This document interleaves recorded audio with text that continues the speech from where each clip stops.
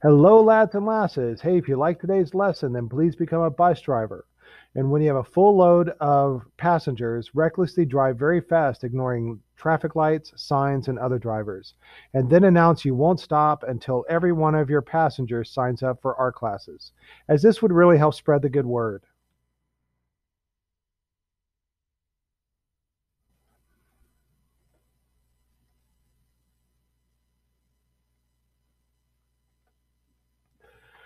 Ten, nine, eight, seven, six, five, four,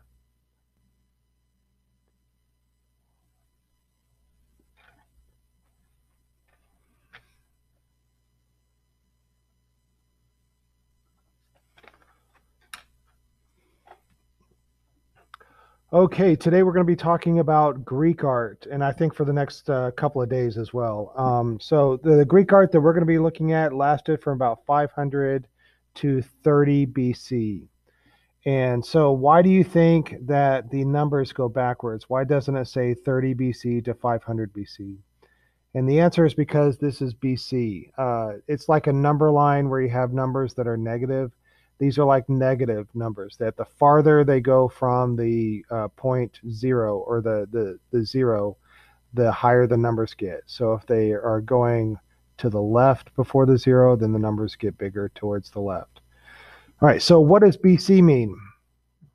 All right, BC means before Christ. And then what does AD mean? By the way, I want you to write these down. AD, a lot of people think it means after death, and that's not what AD means. AD stands for Anno Domini, and that's a Latin term for the year of our Lord. So write this down. AD stands for Anno Domini. Now, in uh, recent history textbooks, they've changed BC and AD to BCE and CE. So BCE stands for before the Common Era, and CE is the Common Era. So uh, BCE is just like BC, and CE is just like AD. Be sure and write all this down. If you need to stop the video, then go ahead and do so. All right, so let's take a look. I'm going to show you where Greece is. Uh, can you find America on this map, or can you find where we live? And yeah, that's where we live. And Houston is right about at the tip of that arrow. We're right on the Gulf of Mexico. And what ocean would we have to cross to get to Greece? And by the way, what continent is Greece in? All right. Uh, most people know that Greece is in Europe, and we would have to co- uh, cross the um, the Atlantic Ocean to get there. So this is the Atlantic, this is the Pacific, and Greece is right in that area right there.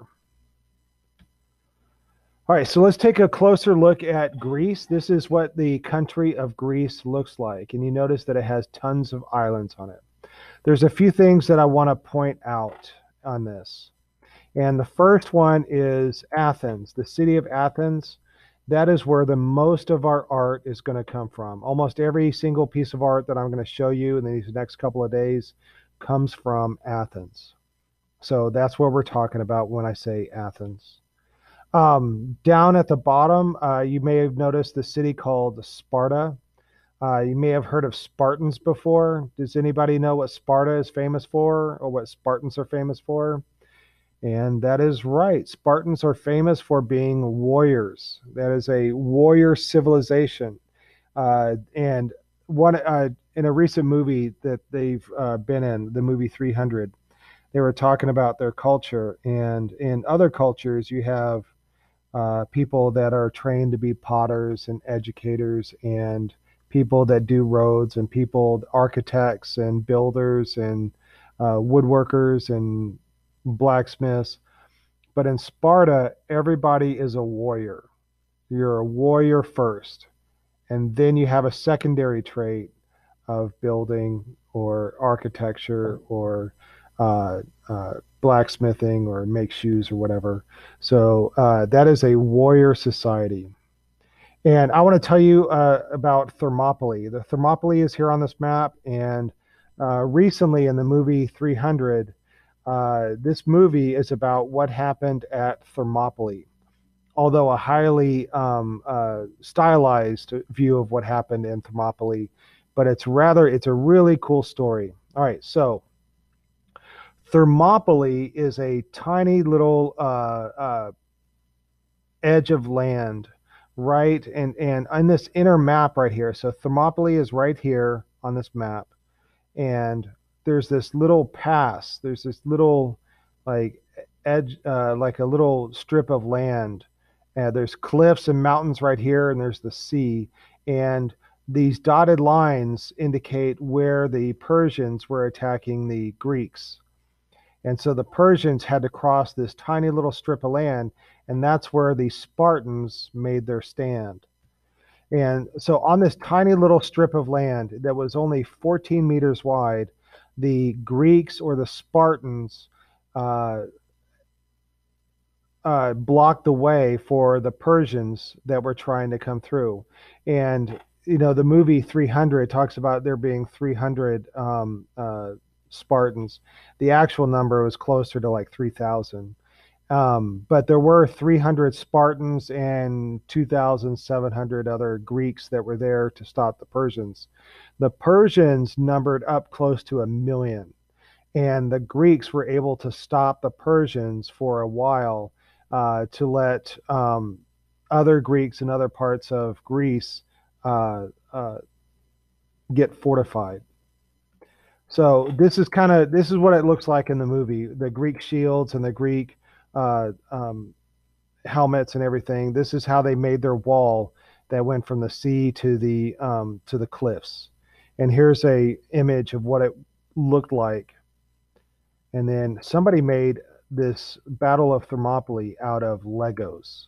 So these are all little Lego people, and if you get a close enough view of it, so you can see the Legos that are dressed up like uh, Spartans, and then the Legos that are dressed up like the Persians, and that's kind of how that's how the Greeks held off a million Persians that were trying to get through and attack Greece. It was a pretty cool story. All right, so that was Thermopylae. And another one I want to point out is uh, the city of Marathon. And what is a marathon? Do you know what a marathon is? Most of you know what a marathon is. Uh, a marathon is a foot race. So here's a, a, picture from the Boston Marathon, one of the most famous marathons that there is. And you can see that's written right here. It's a marathon is a race. Do you know how long a marathon is? a marathon is 26.2 miles. So why do they choose 26.2 miles? Well, there's a story behind that.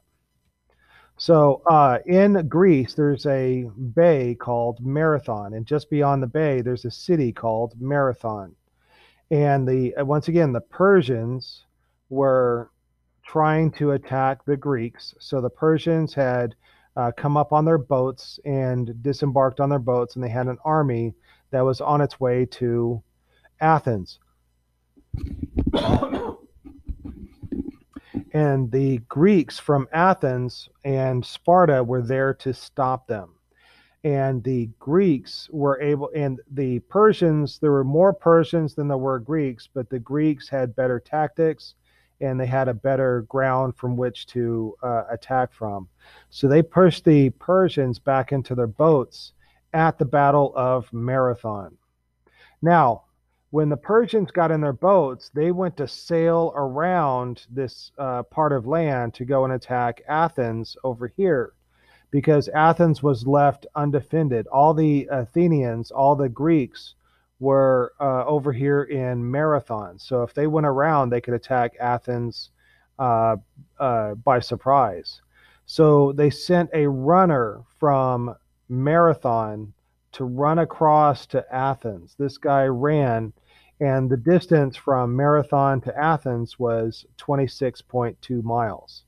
And his he had the message of that they beat the Persians at Marathon, and to prepare because the Persians were on their way to uh, attack Athens. And so when he, and when he arrived there and delivered his message, he collapsed from exhaustion and died. That's why marathons are 26.2 miles. Okay, so I showed you uh, Athens, and I showed you Sparta, and I showed you Marathon, and I showed you Thermopylae. Uh, the next two cities I want to show you are Thebes and Delphi. And I have a story to tell you about Thebes and Delphi. And this is the story of Oedipus Rex.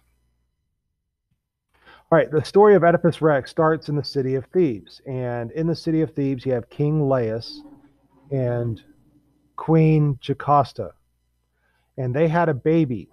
And the king went to Delphi, and inside the temple at Delphi, there was a, uh, a prophet, an oracle.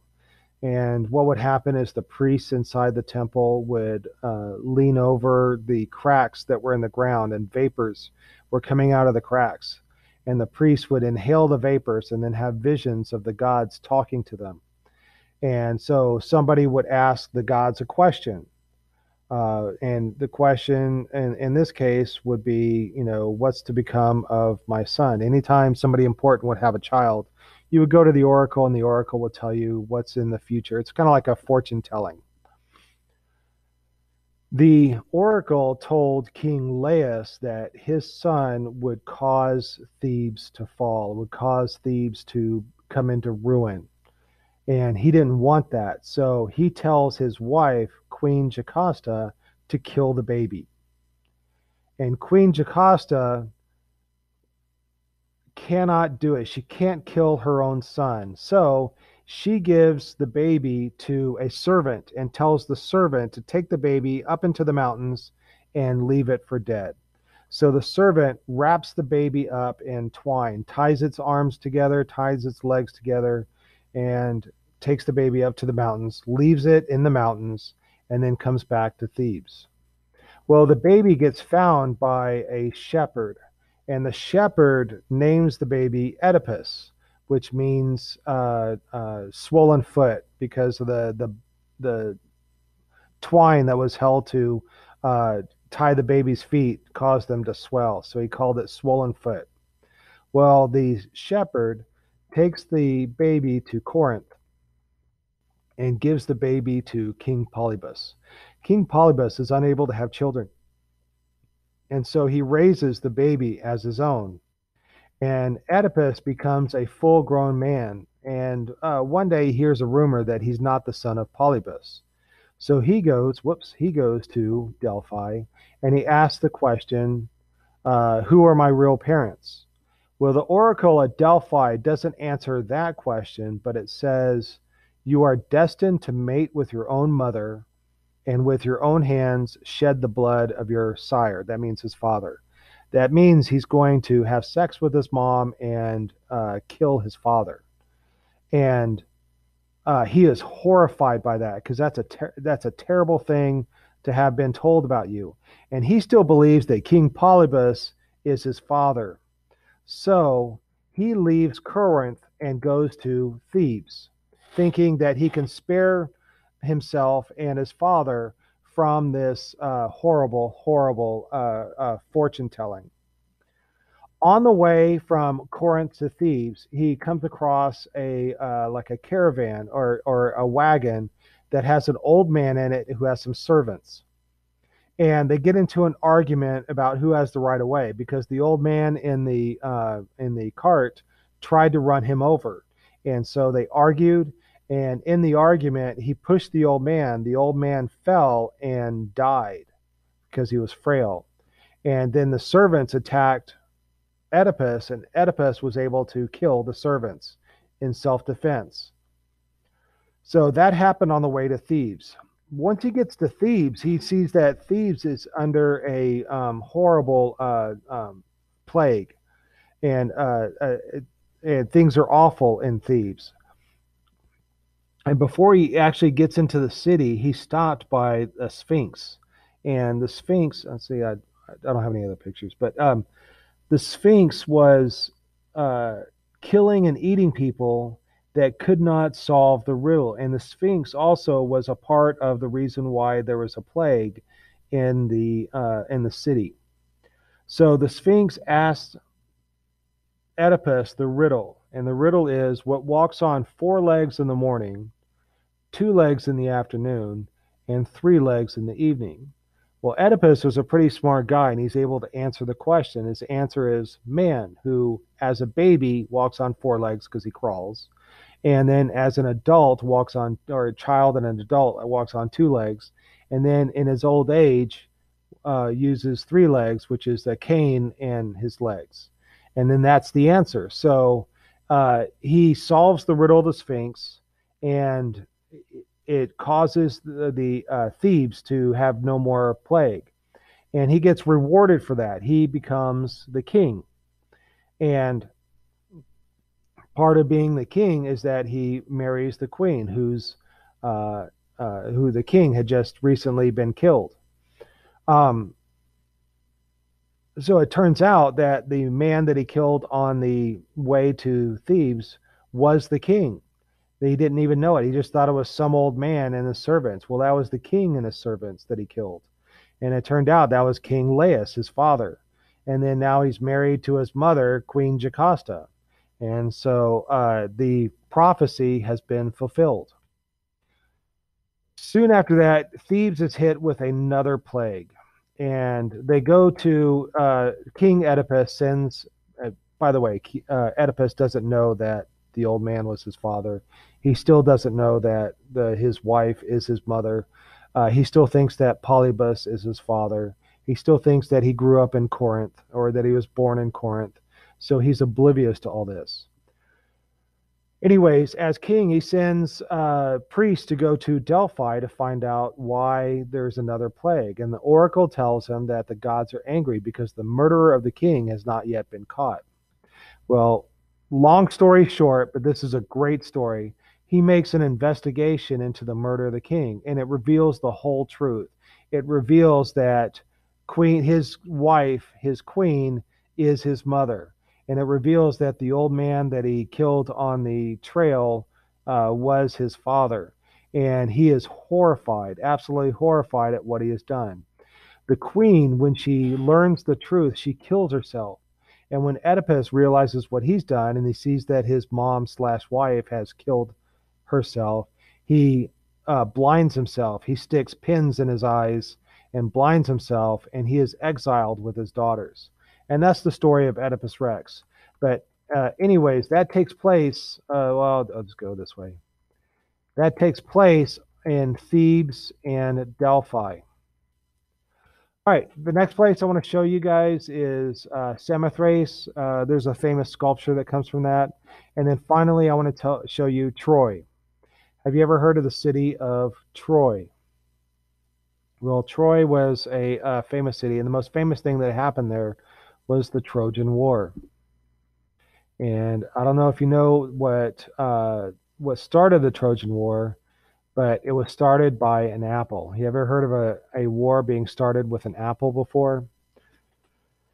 All right, so the story goes like this uh, Mount Olympus is the place where all the gods lived. And there was a wedding. So a couple of gods, well, a god and a goddess were getting married. Um, it wasn't any of the major gods, but there was a big wedding, and so there was a big feast of all the gods and the goddesses, and everybody was dancing and laughing and having a great time at the party. And everybody was invited to this wedding party except for one person, and that one person was Eris. Eris is the goddess of discord. And uh, I don't know if you know what discord means, but basically it means that Eris is a troublemaker. And so now you understand why she wasn't invited. She wasn't invited because she would have caused trouble.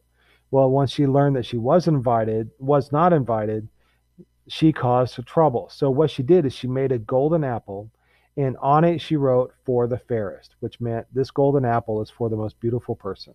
And she threw it into the wedding party. And immediately, three goddesses started fighting over it. It was Hera, the wife slash sister of Zeus. It was Athena, the goddess of war and wisdom. It was uh, Aphrodite, the goddess of love and beauty. And so all three of those goddesses were fighting over the apple. And they went to uh, Zeus to ask him. Let's see, I'll, I'll, get before that. They went to Zeus to ask him before, uh, ask him to judge which of them was the most fairest. And Zeus was really smart. He said, "I am not going to judge because it doesn't matter who I choose, the other two will be angry at me. So then they decide to get an impartial uh, uh, opinion. So they appear before a boy named Paris. That's Paris over here on the left, sitting on the tree. This right here that's holding the apple is Hermes. He's got his winged feet and his uh, helmet, and he's the messenger of the gods. And then these are the three goddesses right here. This is Hera, Athena, and Aphrodite. And all three of them are asking Paris to judge which of them is the fairest, which of them is the most beautiful. And uh, to sweeten the deal, all three goddesses offer him gifts if he should choose them. Athena offers him great glory in battle, and Hera offers him uh, a kingdom of his own to rule. But uh, Aphrodite offers him the love of the most beautiful woman in the world. And that's who he chooses. He chooses Aphrodite, the goddess of love, as the most beautiful, uh, and she gets the golden apple. So Aphrodite arranges for Paris, that's him on the right, to fall in love with Helena, that's her on the left.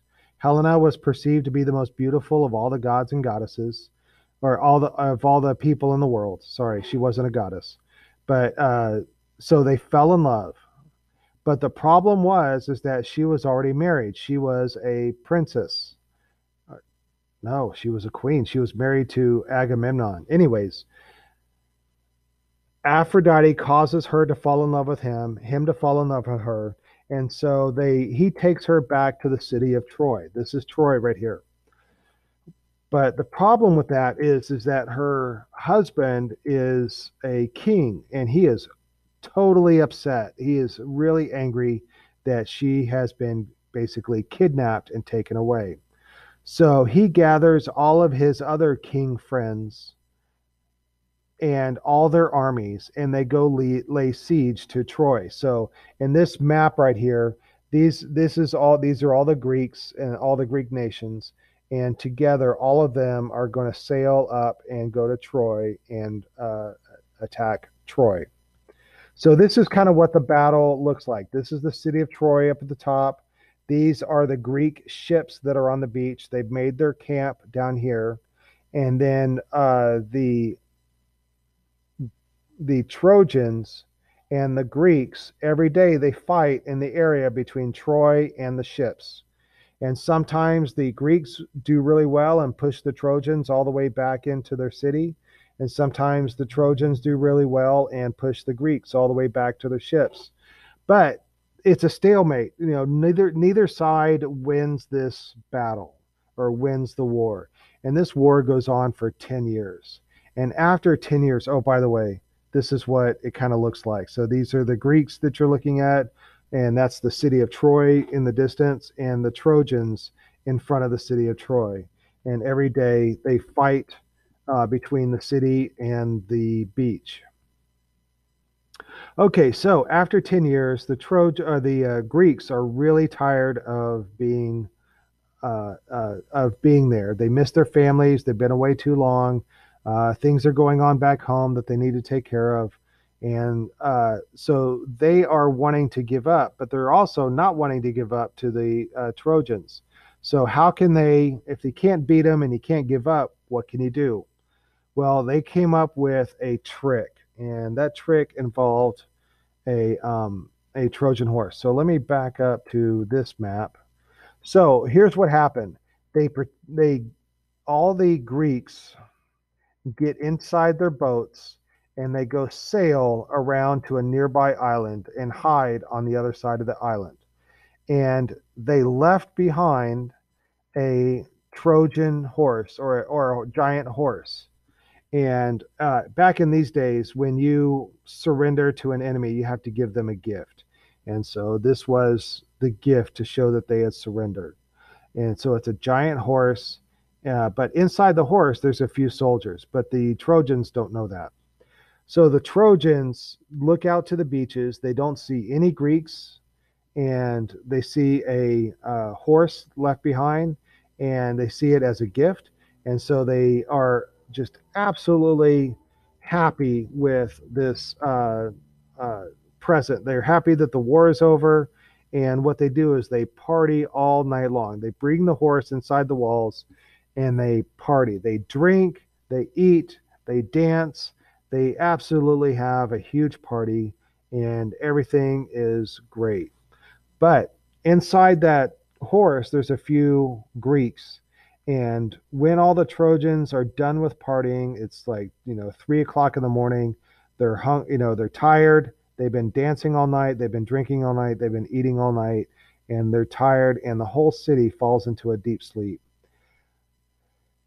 The few Tro- the few Greeks that are inside the horse sneak out, kill the guards at the top of the walls of Troy, open the gates, and signal for all the Greeks to come back in. And all the Greeks come back from hiding behind the island and lay siege to Troy and burn it to the ground. And that, my friends, is the story of Troy. Oh, I thought this would be funny for you. I don't know if you guys watch Family Guy, but I think this is funny. It's like when we tried to invade the city of Troy, and he says, Peter, I don't think this is the right horse and they get because they actually got inside of a real horse instead of a big giant wooden horse. I think it's funny. All right. I like memes, and I like uh, Greek memes. All right. So let's get into the art of Greek. Uh, let's get into the the art side of Greek art. So uh, I'm going to show you guys some Greek vases. There's black figure vases and there's red figure vases. All right. I want you to write this down. This is a definition. Black figure vases means a red background and black figures. And figures means people or objects. People or objects. So here's a good example of a black figure vase. And uh, so here's the vase. And all right, so here's how this works. Um, it looks like it's been painted on, but it hasn't. It's actually different types of clay. And uh, so clay, here's how clay works. It is, you've worked with clay before. It's soft. You can bend it. You can mold it. You can put it into different shapes. And uh, it's kind of fun to work with. So they make they use they bend and mold the clay into a vase. And when it gets hard, when it dries out, it gets hard and but it's still very brittle. And so in order for it to be to become hard enough to contain water, you have to cook it in an oven. It's a special oven called a kiln. And so they cook it in these ovens, in these kilns at very high temperatures, and that causes to the clay to solidify and uh, to you know be like um, it's called uh, fired clay, and you can use it uh, for carrying food, for carrying water. Now, some types of clay, when you fire them in the kiln, turn black, and other types of clay turn like this reddish orange color. Uh, that's called terracotta. And so that's what we're looking at right here. We're looking at they have painted images on the pot to look like black or this reddish orange color. And they're just using different types of clay. It's not paint. By the way, Achilles and Ajax are two heroes from the Trojan War. And here they are playing a, a, a board game instead of fighting each other and killing each other. I think that's how all wars should be fought with uh, board games. Okay, here's some more black figure vases. Notice that the background is red and then the people are black.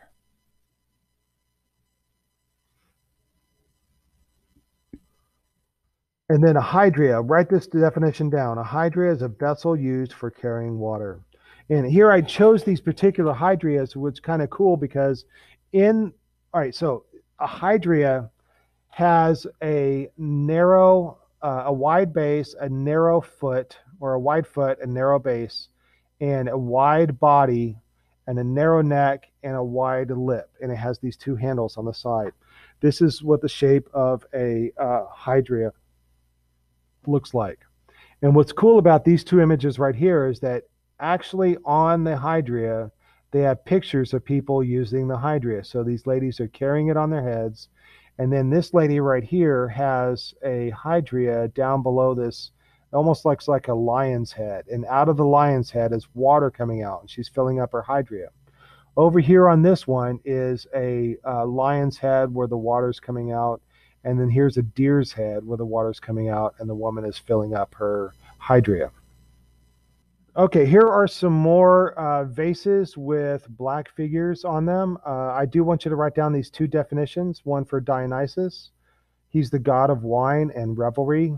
And here he is right here, and you often see him with grapes and with cups that have drink in them. And then this guy right here, I'll talk about Heracles in a minute, but I do want you to write this down uh, Son of God, strongest man alive. And also, he was the, uh, he was the only mortal to become a god himself. All right. So, oh, and then in AD Painter, I want you to write that down. He painted vases. In Greek art was the first time that people started signing their artwork.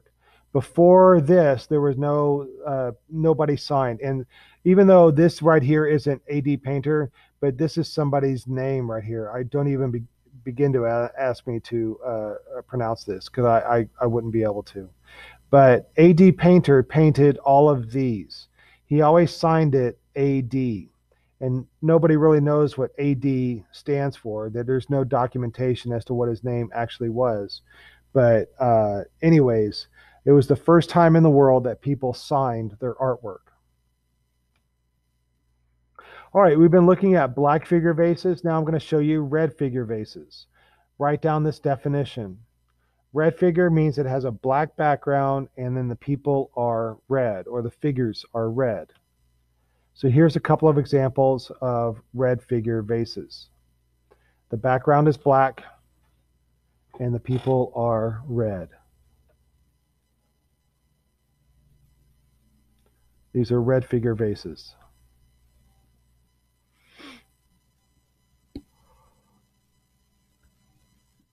Oh, by the way, this is uh, a red figure vase of the story of Oedipus Rex and, and the Sphinx. And so here's Oedipus talking to the Sphinx. And then this is Oedipus going to the oracle, and the oracle is telling him uh, about about what is going on.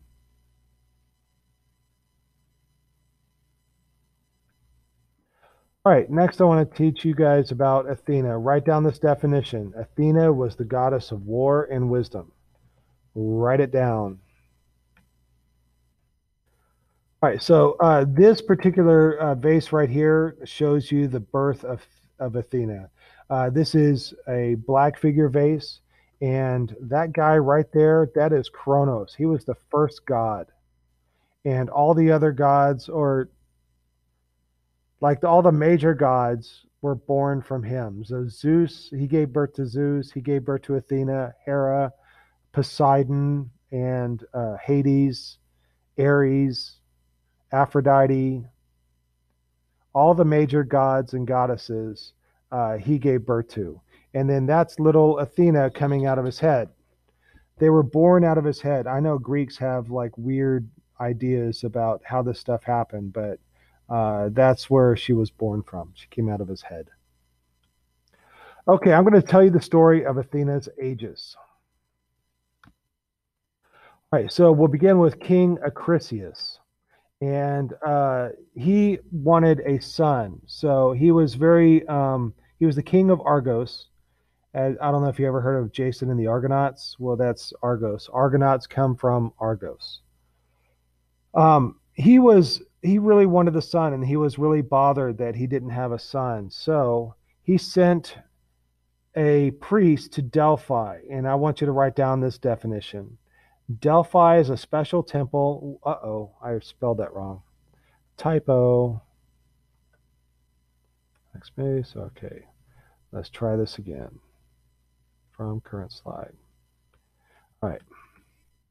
Uh, he it was a special temple where the priests would talk to the gods and the gods would uh, talk back. So he sent a priest to the to the Delphi to ask why he won't have a son. And the gods told him that his that the uh, son of his daughter who hadn't given birth yet would kill him. All right so he had a daughter named diane. I'm going to call her diane instead of dane i'm going to call her diane. So his daughter diane um, did not have a son but the Delphi told him that his grandson would kill him. Well, he only had the one daughter, so he imprisoned his daughter in a tower so that she could never like become pregnant. And Zeus, and I want you to write down this definition. Zeus, he's the god of gods, king of gods, father of the gods, whatever you want to call him. He's he's the main god. He fell in love with Diane he saw her in the tower and uh, absolutely fell in love with her. And he came down and he got her pregnant. And she gave birth to Perseus. Now, what what did the Delphi say is that his grandson would kill him? So here he has Perseus. Uh, his daughter has Perseus. So what's he going to do? Because Perseus is supposed to kill him. So he's really worried because he can't kill Perseus because he's the son of Zeus, because then Zeus will be angry at him. So here's what he does he takes his daughter and his grandson, throws them in a wooden crate. And I use the image of a bathtub because that's the closest thing I can get with these images.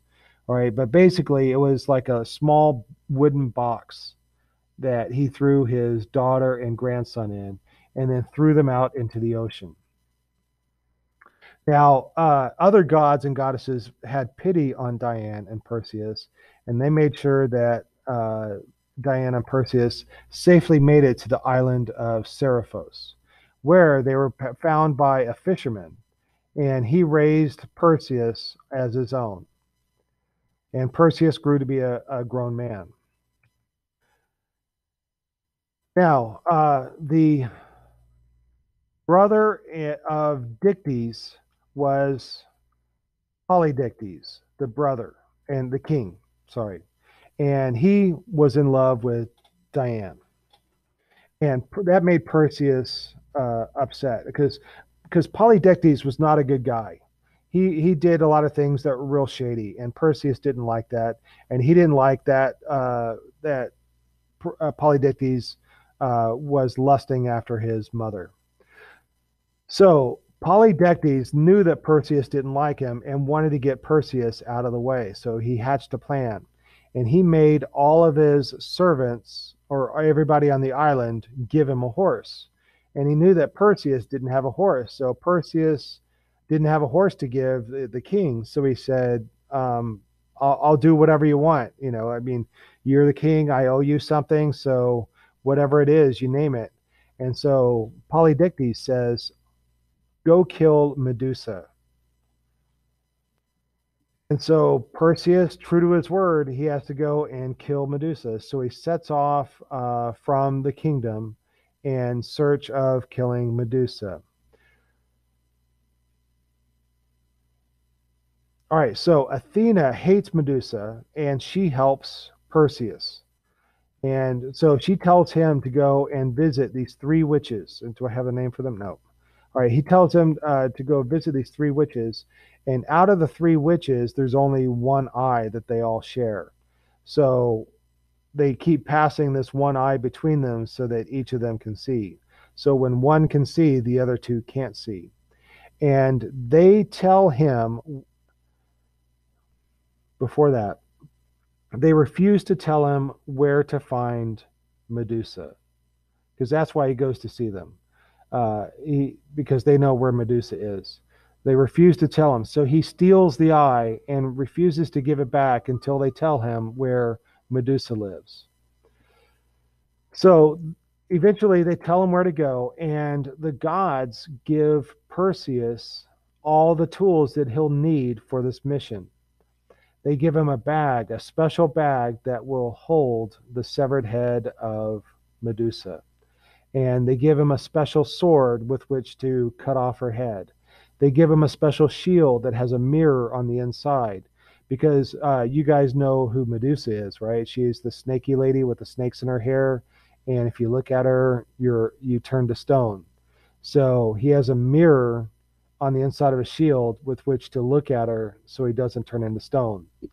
And then they give him a special helmet that turns him invisible, and they give him winged shoes that allows him to fly. So with all of this, he's able to get to where Medusa is. Uh, she's a gorgon, so she lives in a cave. So in that cave, he finds her asleep and he's able to kill her. So he cuts off her head and puts it in the bag and is and comes back home. And when he comes back and uh, he finds that his mom has locked herself in a closet and Polydectes is banging on the door, demanding that she come out, and she's terrified of him. So what does he do? He shows Polydectes the head of Medusa turning Polydectes into stone, thus saving his mother. Well, anyways, he gives the head of um, of Medusa to Athena, and Athena puts that on her breastplate. It's a piece of armor that goes across the chest, and then that becomes the Aegis. So I want you to write down uh, this uh, definition right here for Aegis. The Aegis is Athena's breastplate and it has Medusa's head on it. So here is uh, a Perseus cutting off the head of Medusa. And that is over here on the right, that is Medusa, who had helped him along the way.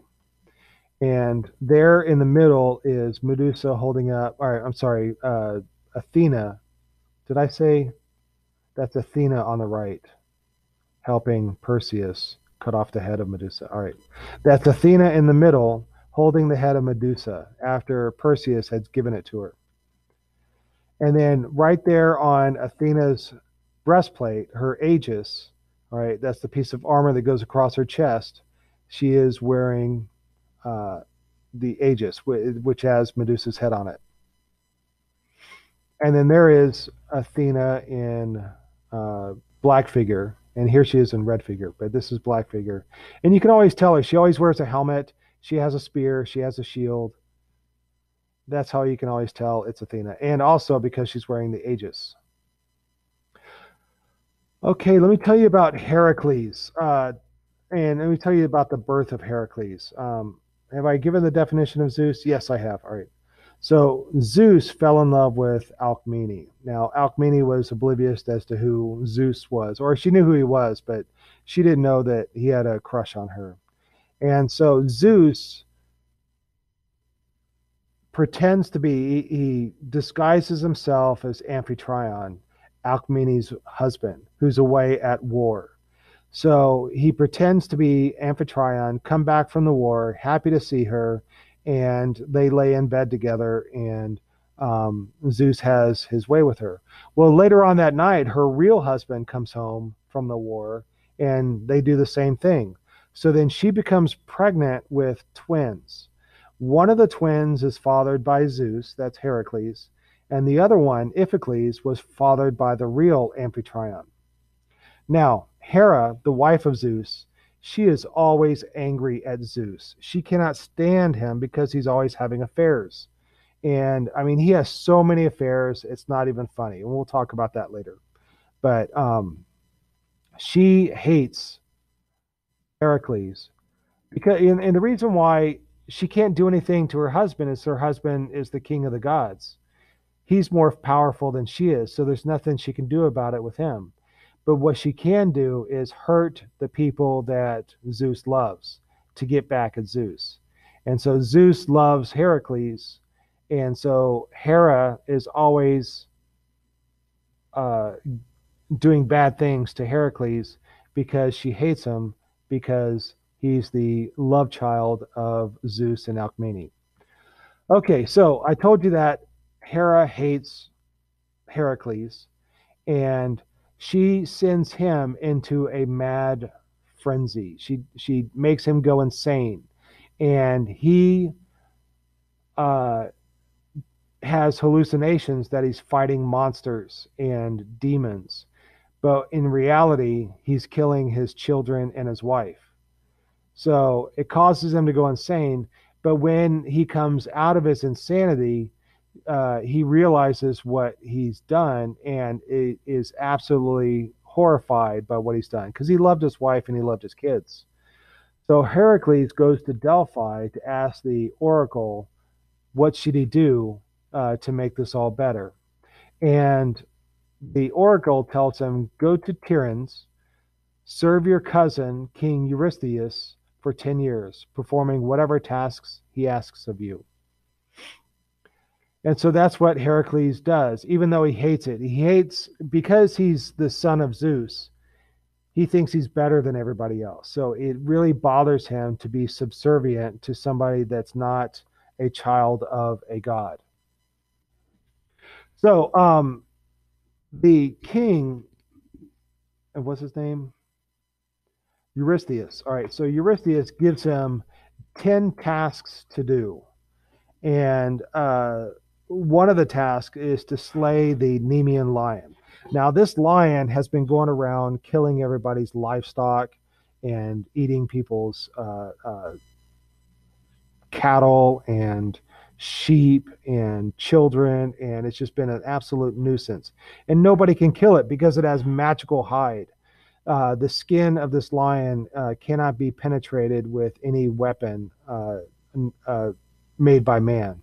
So arrows don't work, swords don't work, axes don't work, nothing works. So when uh, Heracles goes to kill it, he ha- he ends up choking it to death. And in this red figure vase right here, you can see that Heracles is wrestling this uh, this lion and choking it. And in every image of Heracles, he's often depicted wearing lion skin, and that comes from this story that after he killed the lion, he uh, he he made a lion skin like cape out of out of it. Here's a closer view of him fighting the lion. There's another one of him. That's black figure.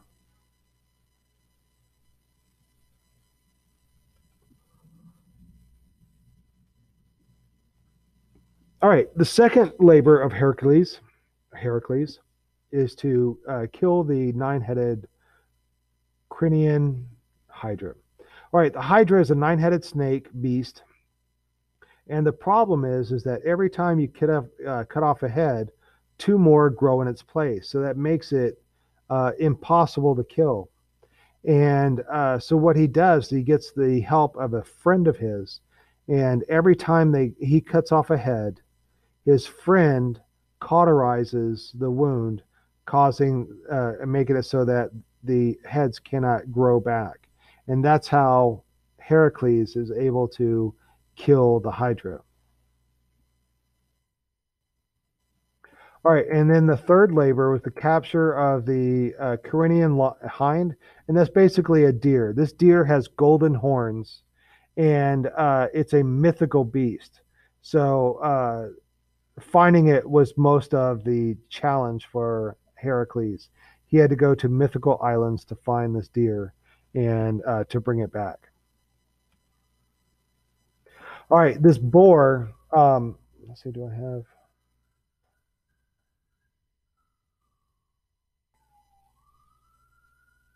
No, that's not it. Okay, so uh, the Erymanthian boar uh, was a uh, uh, another beast that was ravaging the land, and this thing was absolutely huge, and it was so terrifying. And uh, Heracles defeated it. And part of the story goes is that when Heracles uh, defeated it and brought it back, when he carried it into the king's palace, the king hid from it. He was so scared of the thing that he, he hid, showing the cowardice of the king.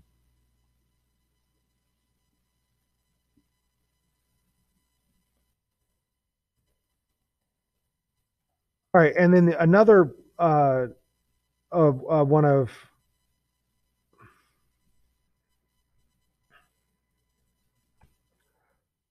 Another one of Heracles' labors was to clean the Augean stables in a single day. Uh, the problem with this was this this these stables were the stables for a whole army, thirty thousand horses, and they hadn't been cleaned in thirty years. And you can imagine the amount of dung that uh, builds up in stables of thirty thousand horses not been cleaned for thirty years and it was an absolute horrible and it was impossible to clean it out but what heracles did is he diverted a river to wash through the stables instead of cleaning out the stables himself. So um, uh, that was how he had he, he uh, finished this task. Uh, this black figure vase over here shows him taking a break after he diverted the river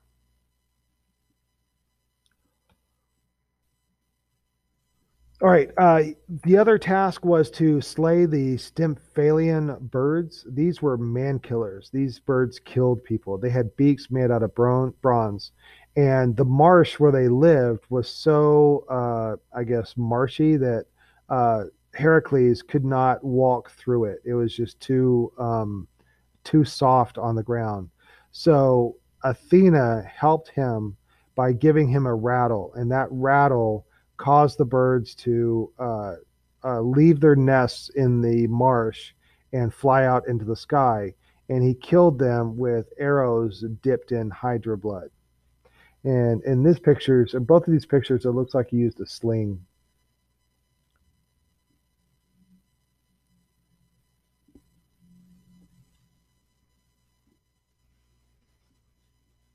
All right. Uh, another task that he was asked to do was to capture the Cretan bull. It's a bull that had uh, gotten away, but this this was a very special bull. All right. King Minos was given a uh, a an amazing bull to sacrifice to Poseidon. It was you know like a big beautiful bull, and uh, King Minos really admired it, and he wanted to keep it instead of sacrificing it to Poseidon. So instead, he kept the bull and he sacrificed a lesser bull to Poseidon. Well, Poseidon got really angry at that and made Minos' wife fall. Whoops, need to fix that and show and fall. All right. All right, fall in love with the bull. And so it caused her to get pregnant from the bull. So she got she gave birth to the Minotaur, and that's how the Minotaur was born. Oops. And so here's a black figure vase showing Heracles uh, uh, bringing the bull back. All right, the eighth labor of Heracles was to uh, steal the mares of Diomedes, and you know that a mare is like a horse, a female horse. Well, these were mares were flesh eaters; they ate people, and but after and they were wild and crazy, and they ate people. But after eating flesh, they became calm. Well, Heracles was able to steal the horses and had his best friend hold them for a while and the horses ate his best friend, and that really made Heracles angry.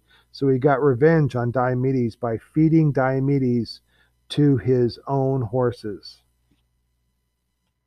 All right, so here is Heracles trying to wrestle with the wild horses, and then after they ate, here's Heracles uh, uh, like uh, petting a calm horse.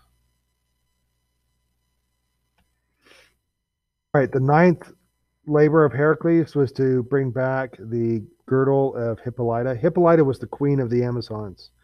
And Hippolyta actually, she, uh, I mean, man, I've got tons of little typos. Where do we go? Are we right here? How about a Y right there?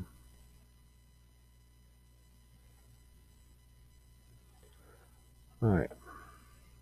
All right, Hippolyta actually liked Heracles and planned to give him the girdle just because they were friends. Uh, and so Hera got mad. You remember that Hera hated Heracles and disguised herself as an Amazon. And so she spread the rumor that Heracles planned to steal the girdle. Well, Hippolyta believed the rumor and tried to attack Heracles, resulting in a big battle and bloodshed. And Heracles killed Hippolyta, took her girdle, and sailed away.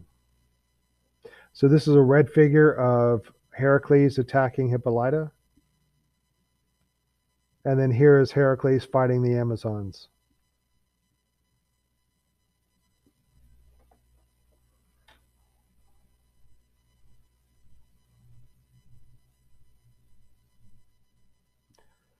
And then the tenth and uh, final labor of Heracles is the uh, to obtain the cattle of the three-bodied giant Geryon.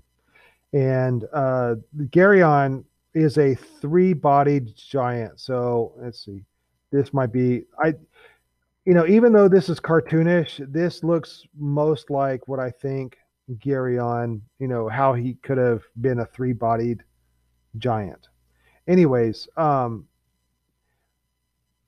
Heracles was able to kill him with a with an arrow tipped in the blood of the Hydra, and you can see Heracles right there wearing his lion skin and shooting an arrow at Geryon.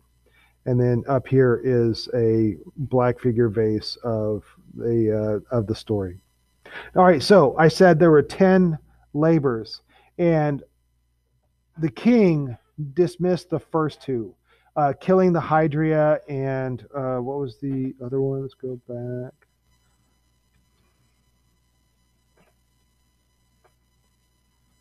All right, he dismissed killing the Hydria because he had help from a friend. Remember the friend that would cauterize the uh, the neck as he kill, cut off the heads, and then the other one was that he dismissed was uh, that he cleaned the Augean stables uh, one of the reasons why he dismissed that is because the owner of the stables paid Her- Heracles after he cleaned them.